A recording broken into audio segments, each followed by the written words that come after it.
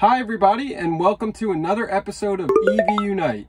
In this video, we're going to be taking a look at the Quick Bandit, which is a removable front license plate holder specifically designed for either a Tesla Model 3 or a Model Y, and it's made by a company called 1975 Creations.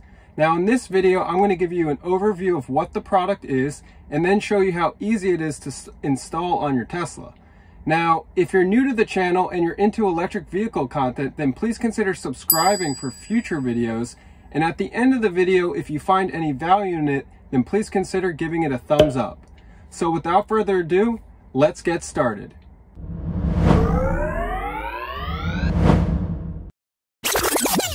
All right, so the first thing to note is that in many states, it's actually required by law to have a front license plate mounted on the front of your vehicle. Now, some of the options on the market require you to actually screw into the front bumper to mount it, or they'll have a double-sided adhesive that you can use to stick it onto your front bumper. Now, in the case of drilling into your bumper, of course, you're permanently adding holes. And if you use the double-sided adhesive, over time, if you ever go to remove that, you may actually peel the paint on your vehicle. So this product gives you an option where you can easily both mount the product easily and then uninstall it and remove it later if at some point you decide that you don't want it. So there are two main reasons that you may want a removable front license plate holder. Now, the first reason might be that you are planning to move to a state that no longer requires a front license plate and you just want a temporary solution until you move. The second reason is you may not like the overall aesthetics of how a front license plate holder looks, and this gives you the option to remove it, for example, for photos and videos.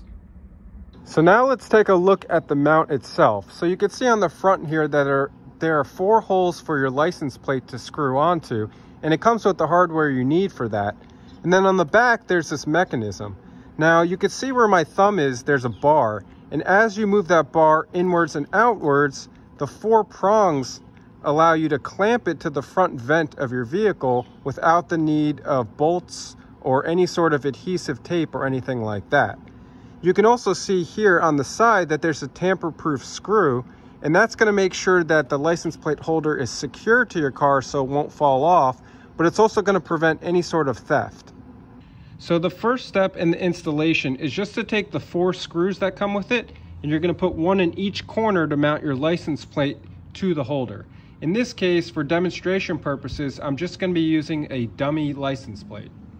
Now, this license plate holder actually mounts to the vent on the front of your vehicle.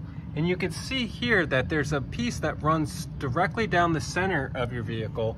And that actually is gonna align with these V-shaped alignment features on the mount itself so that the license plate holder is perfectly centered to your car. So to install, all we're gonna do is push it up against that center ridge. We're gonna push down on this bar. That's gonna lock it into place and that's it. Just like that, the license plate holder is now secure to your car.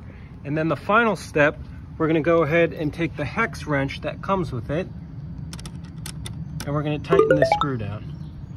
And this is just gonna make sure that one, it's nice and secure to the car, and we're gonna prevent anyone from being able to just quickly grab the license plate holder and run away with it. And there you go.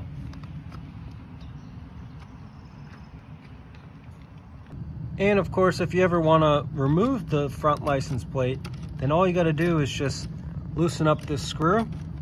You'll see on the back, it'll completely go flush.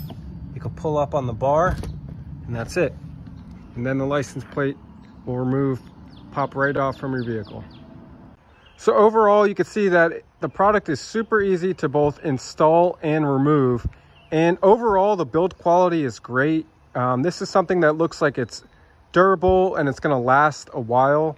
My only drawbacks to this product would be the price. So right now on the 1975 Creations website, this goes for $139. And I think that price is a little steep for this type of product, only because it's an all plastic assembly. So all the parts in this are plastic, and then there's just some hardware. Um, so $139 definitely seems a little high for what you're getting. But I do think that hopefully over time, the price will reduce as they start producing these in higher volumes. All right, so that's going to do it for this video. Now, if you have any questions or comments, then definitely leave those in the comment section below. And if you found any value in the video, then please consider giving it a thumbs up.